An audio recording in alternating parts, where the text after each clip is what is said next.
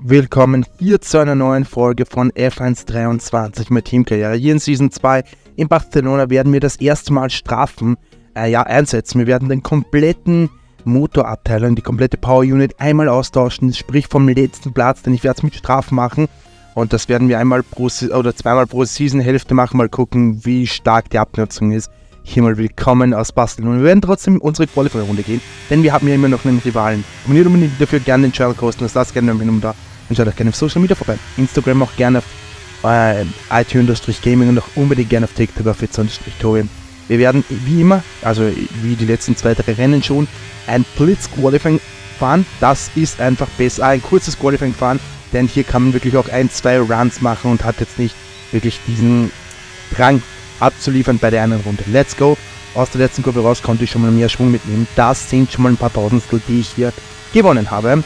Landon Norris hier jetzt auf den 11. Platz. Sein Nigel ist ein bisschen schlechter heute dran. Ist trotzdem egal, wir werden nie vom letzten Platz starten. Dennoch hier auch Inside gerade kommen wir ein bisschen ins Gras, deswegen ja verlieren wir hier wieder ein paar Tausendstel.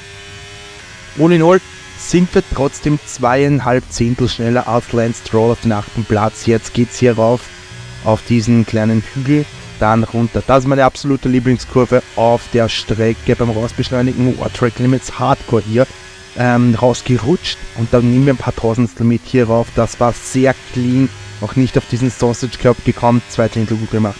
Full Speed hier, einmal kurz lupfen, einmal glaube ich schalte ich runter und das sind wir bei 5 Zehntel in der vorigen Runde, hat echt viel Zeit hier liegen lassen. Das ist sogar zwischenzeitlich lila, aber ihr seht auch oben die Zeit. Wir haben noch ein paar Sekunden, die anderen setzen jetzt gerade so zum letzten Run an und wir machen jetzt hier den finalen Run up in den letzten Sektor rein. Da geht's noch einmal Full Speed. Oh, das war gar nicht gut. Da haben wir ein paar Zehntel liegen lassen. Da kommen wir fett in die Strecke und auch die letzte war jetzt nicht ganz so sauber. Da verlieren wir wieder ein, zwei Zehntel. Dennoch waren wir Im Fahrerlager ist man sich einig, dass die Schikane, 4,6 Kilometer, 14 Kurven und das ist die Strecke, wo wir heute vom letzten Platz aus ins Rennen gehen müssen. Also, Grand Prix von Spanien. Es ist an der Zeit, einen Blick auf die Startaufstellung der Fahrer nach einem aufregenden Qualifying von gestern zu werfen. Lewis Hamilton startet heute von der Pole und der talentierte Spanier Carlos Sainz macht die erste Reihe komplett. Die restliche Startaufstellung sieht wie folgt aus. Leclerc, Russell, Verstappen, Norris, Perez, Albon, Magnussen, Stroll, Ocon, Gasly, Oscar Piastri, Bottas, Hülkenberg, Tsunoda, Duhan, Mansell, Joe, Sargent, De Vries und der Wissenschaftler. Jetzt, wo die Lichter jeden Moment ausgehen, wird es Zeit, zur Strecke zu schalten. Wir starten also von P22, Mansell auch nur von 18. Ich habe eine Genius-Strategie ausgepackt. Wir werden mit dem Weißen und dann auf Rot gehen. Let's go! Lights out and the way we go und wir stehen hier. Der Start war ja utopisch schlecht. Ähm, sogar in Logan Sargent, sogar in der Fries sind besser weggekommen. Hier gehen wir auf die rechte Seite, wie es also der Rechtspunkt, dann der Linkskurve. Hier müssen wir ein bisschen ins Gras gehen. Und das sind wir schon links an unseren Teamkollegen halbwegs vorbei. Rechts bleibe ich ganz nah am Körper, weil ich weiß, gerade Turn 1 ist ein bisschen wie ein Stau. Hier sammelt sich alles und es wird viel enger in diesen nächsten folgenden Kurven. Und da können wir uns behaupten, auf den 18. Platz, ja, da zieht ein bisschen Dohan. Ja, ich, ist natürlich seine normale Linie, nur ich wollte ein bisschen reinhalten, aber das ist absolut nicht gegangen. Hier können wir jedoch reinhalten und das ist Platz Nummer 17. Das ist wirklich, ja, da lassen wir noch innen genug Platz. Ja, aber er konnte da auch nicht dranbleiben. Jetzt sind wir auf den 17. Platz davor gerückt.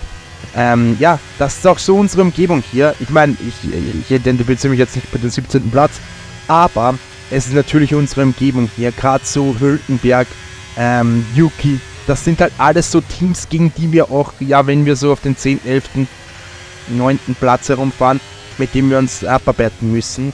Und hier gehen wir außen, bis eine andere Linie. Die Weißreifen brauchen natürlich ewig, um ins Temperaturfenster zu kommen, halten aber natürlich auch ewig. Und bei einem 23 Rundenrennen auf einer Strecke wie Spanien ist, glaube ich, auch ein, ein stabiler Reifen ein, ja, eine, eine große Voraussetzung hier gehen wir mal vorbei und da ziehen wir auch im Windschatten. Na, da vorne ist auch jemand auf einer ähnlichen Strategie wie wir. Ich glaube, das ist ein Alpha. Der ist auf dem weißen Reifen und da geht es auch richtig zur Sache. Es ist Walter Reporters, die auch auf dem weißen Reifen herum können. Da vorne, Halleluja. Da ist wirklich ordentlich was dran. Yuki, dann haben wir da vorne Bottas, Hülkenberg ist dabei. Das ist wirklich eine richtige Kampfgruppe. Ich glaube, ganz vorn fährt sogar noch ein Alpin mit. Also da ist wirklich alles dabei. Eins, zwei, drei, vier, fünf, sechs Leute circa. Und ja, da wären wir schon auf den elften Platz. Das ist echt wichtig, dass wir hier nach vorne kommen. Jetzt haben natürlich die roten Reifen noch viel besser, aber ich habe gar nicht damit gerechnet, dass wir gerade zu, zu Beginn schon so gut mithalten können mit den anderen. Und ich hoffe natürlich, es bleibt so, es bleibt weiterhin so.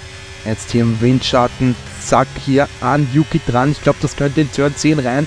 Ja, da deckt er sogar innen ab und da können wir ihn außen, ich will nicht sagen überholen, aber ich glaube, da können wir den Weg abschneiden. Denn jetzt kommt die Rechtskurve und da ist er jetzt außen und gerade in dieser Kurve willst du nicht außen sein. Da können wir ganz gut vorbei an ihm. Und jetzt auch Walter Bottas vor uns. Der Finne, der ist auch auf der gleichen Strategie wie wir. Das ja, macht das Ganze natürlich wesentlich einfacher im Windschatten. Guck dich mal an, wie stark unser Auto bitte im Windschatten ist. Wie schön wir uns da dran saugen können. 333 km/h ohne Turn 1 bremsen wir ganz spät. Das ist echt okay gelungen. Da kämpfen jetzt die beiden Erst Martins gegeneinander. Der Stau hat sich ein bisschen aufgelöst. Ich glaube, der Alpin konnte sich ja ein bisschen mehr absetzen. Und weil auch die da ihren internen Fährt ein bisschen haben, können wir hier im Windschatten uns auch ein bisschen an Piastri dran sagen. Jetzt gucken wir uns auch mal die Start-Replan. an. Ich spiele für unsere Verhältnisse, denn normalerweise mache ich das immer nach der ersten Runde. Aber es war wirklich so viel Action, gerade in den ersten ein, zwei Runden. Gerade wenn du von so weiter hinten startest und eine andere Strategie hast, das macht halt viel mehr Spaß, wie wenn du permanent abdecken musst. Der McLaren ist ja wirklich grottig weggekommen, fast genauso schlecht wie ich.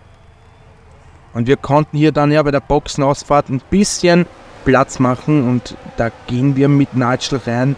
Gab ne, ich glaube, ganz, ganz nah sind wir jetzt gekommen, aber irgendwie, ähm, ja, Schaden oder so war das jetzt keiner. War eine stabile erste Kurve, würde ich sagen. War jetzt auch nicht so, dass ich sage, so Halleluja, wir hatten den OP Genius Start. Und ja, vielleicht, wenn der Start besser gewesen wäre, hätten wir da auch den einen oder anderen vor uns noch gehabt. Ich denke mal den Williams locker und eventuell auch den Haas, ah, den, den Alpha Tauri.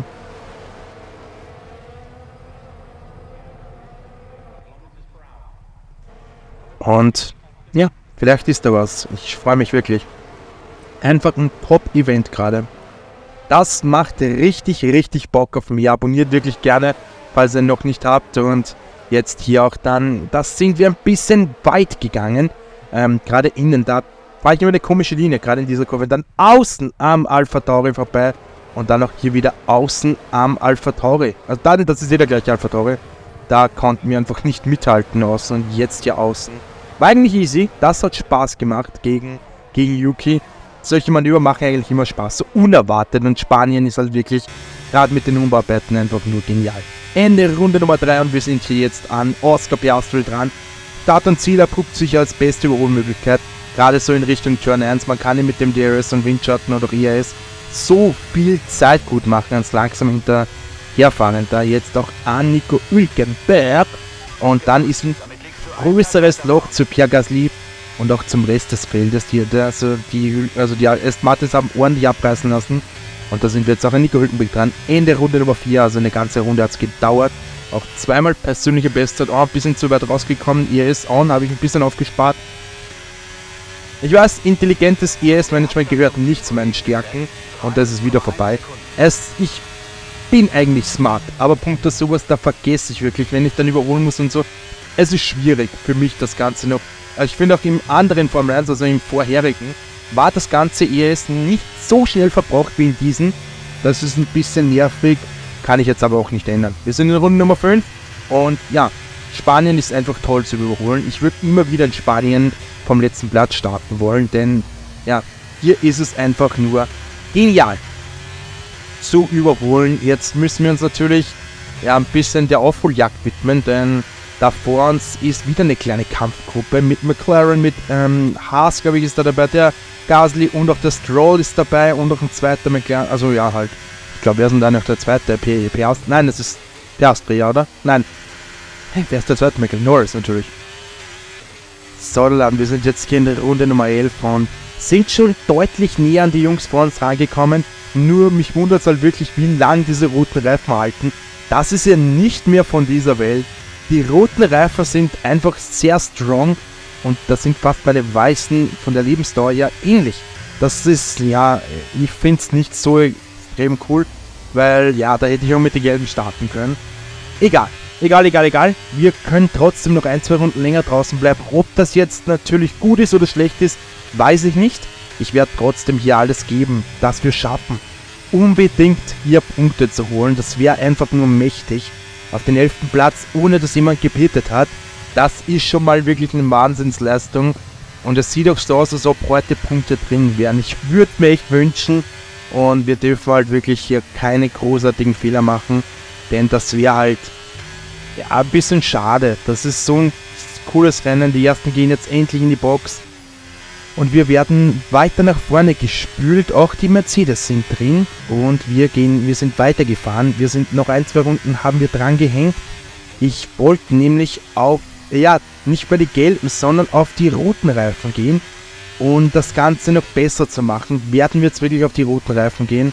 Und es ist halt wirklich so eine Überraschung, wo wir rauskommen. Denn ich bin mir absolut nicht sicher, für was das Ganze reichen wird. Die Base war eigentlich mittelmäßig stark. Boxeneifer müssen wir aufpassen. Da ist ja diese komische Bodenwelle. Und da haut sich irgendwie immer drüber. Ich weiß nicht, warum man da eine Bodenwelle eingebaut hat. Man kann die Kurve nicht voll nehmen. Und das ist dann wirklich bitter. Die ersten sind schon vorbei. Wir sind jetzt schon siebter Platz, achter, neunter, zehnter und elfter drücken schon an. Wir gehen auf den roten Reifen. Das ist eigentlich besser. Zuerst hätte ich mir gedacht, von weiß auf gelb, nur ich wusste halt, dass das wirklich schwierig wird. Und das ist Platz Nummer 16, nein, 17, 18, nein, 16, jetzt sind wir 16. Es ist Platz Nummer 16 und das ist wirklich bitter. Das ist sehr bitter. Wir haben all in all fünf Plätze verloren. Und ja, ob sich das Ganze noch auszahlen wird, das werden wir jetzt sehen. Jetzt beginnt halt wieder unsere große Aufholjagd von P16 aus an Yuki Tsunoda hier schon mal dran. Da hatten wir vorhin das Geile von außen überholen wir über den Turn 10 und ich glaube, jetzt wird es auch wieder für Turn 10 reichen, oder? Schaffen wir schon vorher? Nein, es geht sich schon vorher aus. Auch er bekommt DRS. Diesmal gehen wir aber nach innen, weil wir sind halt auch einfach viel schneller und das ist, ja, der 15. Platz. Es ist heute nicht so top, als ich mir das vorgestellt habe. Trotzdem Paris schnellste Rennen und ich glaube, der führt auch wieder das Rennen an und ist auch in der Weltmeisterschaft ein echt heißer Kandidat für den Titel diese Season bei uns. Und jetzt hier aus dem Windschatten, wir kommen halt viel, viel besser aus. Der Windschatten, das DRS und auch noch das IAS. Und da kommen schon fast, wir waren nicht mal auf der Kurve draußen, waren wir schon an Piastri vorbei, unser Ex-Teamkollege von Season Nummer 1 jetzt auch an Nico Ökenberg, aber es hat ein paar Runden gedauert, da gibt es schon den ersten Pendler. Ja, natürlich, ist, die Reifen sind nicht gemacht, dass man sie so hart von die Mangel nimmt und auch vor uns. Die Ziele sind in greifbarer Nähe und ich hoffe natürlich, dass sich da auch manche Reifen noch ein bisschen, dass da noch ein paar Reifen eingehen. Denn Völkenberg ist locker drin, ich würde sagen auch Albon ist locker drin und nach vorne hin wird es dann halt schwierig, denn die kämpfen halt alle ein bisschen und ich will halt, ich will da wieder vorbei. Punkte wären halt, war halt wirklich die einzige ja, Motivation, die ich bei dem heutigen Rennen hatte. Von ganz hinten starten, dennoch Punkte holen. Ist das noch möglich? In fünf Runden werden wir es auf jeden Fall sehen. Jetzt hier am Windschatten, easy. Auch am zweiten Aston Martin vorbei. Wieder am zweiten Aston Martin vorbei. Gegen die haben wir doch gefühlt das ganze Rennen gekämpft, oder? 13. Platz, das ist schon mal ein starkes Ergebnis. Ich meine, wir sind im Feld von, 21, äh, von 22 Fahrern. Und das ist dann wirklich stark. Hier ist ein Zweierkampf und das wäre dann schon unser elfter Platz, wo wir eigentlich ja waren vor dem Stop. Und ja, ich glaube, die zwei holen wir uns locker noch. Da sind wir aber dann trotzdem auf diesem ersten Platz der Loser. Denn der elfte Platz, ja wissen wir, ist der erste, der keinen Punkt bringt. Wir haben zwar die schnellste Rennrunde, aber ja, die bringen uns halt nichts, wenn der ähm, zehnte Platz nicht da ist. Wir könnten unsere Punkte verdoppeln mit dem zehnten Platz. Nur ist es halt wirklich so weit noch nach vorne und es sind nur noch vier Runden. Und auch die Reifen werden nicht besser mit Runde zu Runde. Mann, das wird doch knapp. Das ist ein Heartbreaking Final. Hier in Spanien. Rutscher von Stroll, da kommen wir ein bisschen sauberer raus. Aber ja, ob wir das schon schneller war, weiß ich nicht. Jetzt, glaube ich, könnten wir es mal wagen, auf Start und Ziel an Stroll vorbeizugehen. Viel Schwung mitgenommen aus Turn 11 hier. Nein, ich glaube, ich ist Turn 13. Und hier im Windschatten geht es auch an Stroll dran. Das wird knapp werden. Wieder in Richtung Turn 1. Hier ist es wieder aus. Hier ist es so Himmel ran. Und jetzt in Turn 1 reicht nicht. Es reicht noch nicht. Und das könnten wirklich wichtige Zehntel sein, die wir hier oder wichtige Positionen, die hier viel zu ja, liegen lasse. Ich gebe natürlich alles. Ich bin wirklich so auf 100 getrimmt, aber ja, jetzt lassen wir auch ein wenig beide Reifen nach. Ich meine, wir pushen jetzt seit Runde 17 und das sind jetzt auch schon, das ist jetzt schon die vierte Runde. Und, ne, ich glaube seit 16, ne? Nein, seit 17, glaube ich, pushen wir. Und ja, das wird echt. Ich habe mir den Effekt viel größer vorgestellt von Rudolf Gelb. Aber doch, das ist wirklich nicht mehr so, was es mal war. Diese roten Reifen sind einfach nur Schrott. Ich weiß nicht, wie, wie findet ihr das? Ich finde, die roten Reifen sind einfach nur kacke. Ende 20. Runde und jetzt sind wir näher ans Stroll dran. Auch der Exit aus Turn 13 jetzt in 14 rein geht gut voran. Jetzt im Windschatten, hier ist es on, auch wenn es nur ein paar Prozentchen sind. Hier ist wieder aus. Ja, und jetzt ist es trotzdem wieder aus. Und jetzt im Windschatten saugen wir uns rein. Albon dran. Turn 1, das war's. Jetzt sind wir mal 12. Platz. Und hier sind nur noch drei Runden zu gehen. Es sind drei Runden und zweieinhalb Sekunden auf Pierre Gasly. Das wird nahezu unmöglich werden, Leute. Trotzdem versuchen wir das Unmögliche möglich zu machen hier in Barcelona. Schönes Land, schönes Land. Ja, Drachenlord. Jetzt aber zurück hier ans Werk. Am Windschatten hängen wir schon, aber es ist noch ein bisschen hin. Der Zehntel konnten wieder aufholen auf Gasly. Es wird so knapp werden.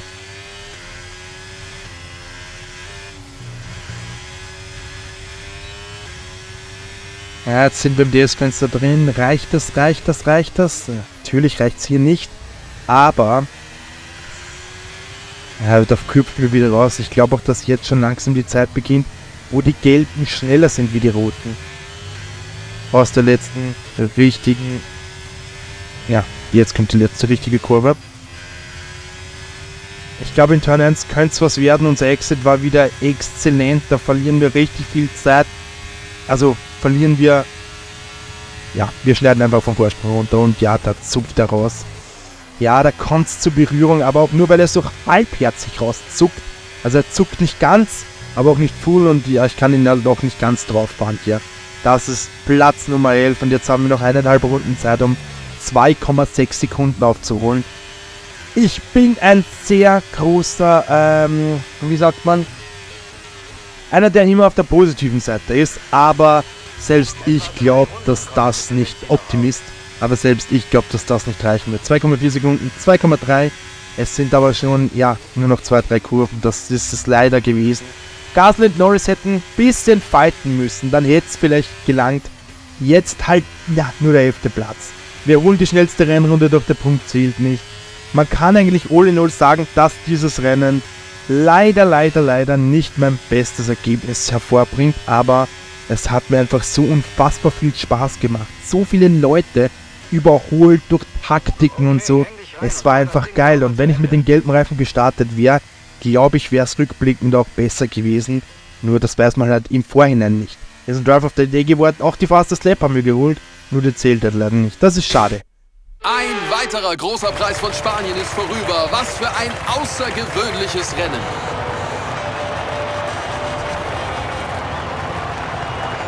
Stefan, was haben Sie im heutigen Rennen besser gemacht als die anderen? Ich denke, die Konstanz war heute der Schlüssel zum Erfolg. Schnell sein ist eine gute Sache, aber du musst eben Runde für Runde für Runde schnell sein. Wenn du das schaffst, kannst du von den Fehlern anderer Fahrer profitieren, falls du selber keine machst und so weit nach vorne ins Feld fahren.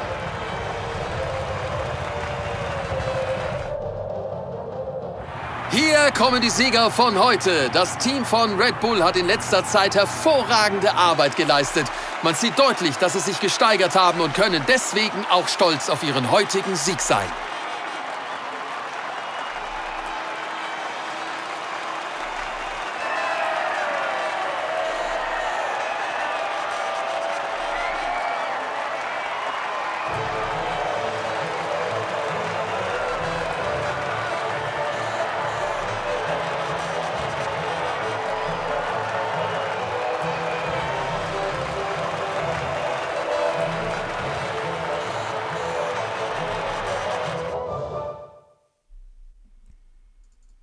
Hier sind wir nun im Final Klassement, 11. Platz, schnellste Rennrunde.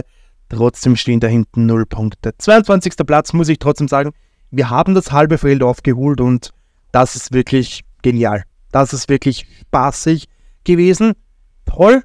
und hat mir ordentlich, ja, richtig gebockt. Es wäre halt dann wirklich die Krönung gewesen, wenn du die schnellste Rennrunde, aber wenn du da halt wirklich den zehnten Platz noch holst. Trotzdem muss ich sagen, ist das toll. Wir sind acht in der Weltmeisterschaft. Es geht nach vorne für das Haas Sports German Team. Doch ja, es ist eher ein schwächerer Saisonstart als vorhin, also in der vorigen Season. Wir sind nur auf den sechsten Platz, sind aber theoretisch in der Lage, bis auf den vierten, die McLaren sind einholbar, mit einem sehr strongen Ergebnis mal. Gerade Kanada ist, könnte uns gut passen, aber auch ähm, Österreich und Silverstone mh, hm, bin ich nicht abgeneigt. Dann kommt das Comeback von Le Castellet, also da können wir wirklich noch gespannt sein. Team-Anerkennung geht's wieder nach oben. Nigel hat ein bisschen ein schwächendes Wochenende im Qualifying eher schwach unterwegs und wir verlieren hier wichtige Sponsorengelder, denn ich habe weder den einen noch die drei Punkte verdient. Ja, diese Risiken muss man eingehen, wenn man einen Motorwechsel macht. Ich kann da jetzt auch nicht irgendwie das beschönigen. Das war eher ein semi-gutes Wochenende, aber ich freue mich dennoch. Für heute ein eigentlich gutes Rennen, was uns natürlich leider trotzdem keine Punkte gebracht hat. Morgen sollte dann Breaking Point wieder kommen. Also ich möchte das auch endlich zügig fertig bekommen. Schaut auch unbedingt gerne vorbei. Abonniert auch unbedingt gerne. Und ich würde sagen, ja, wir nehmen hier noch ein paar Änderungen vor, ein paar Einstellungen. Da, ich nehme einfach keinen. Ich gehe auf keinen Kommentar, denn weder Max noch Darius noch Hamilton kann ich schlagen. Schaut gerne auf TikTok vorbei, Witz-Tobi, auch gerne auf IT-Gaming auf Instagram. Vielen, vielen Dank für euren krassen Support. Links wie immer alle unten in der Bio. Und falls ihr noch nicht habt, würde ich mich gerne über ein kostenloses Abo von euch freuen und auch gerne über ein Däumchen oben. Bis morgen oder später. Auf TikTok könnt ihr auch gerne vorbeischauen, da kommt auch später noch ein Video online und bye.